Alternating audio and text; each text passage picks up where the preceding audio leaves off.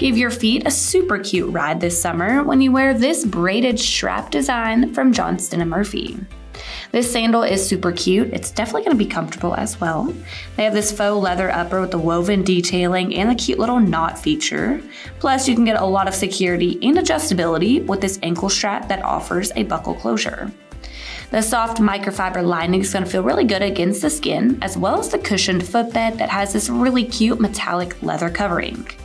I love this EVA midsole. It is going to give you some shock absorption while it gives you a little extra style with that glitter touch.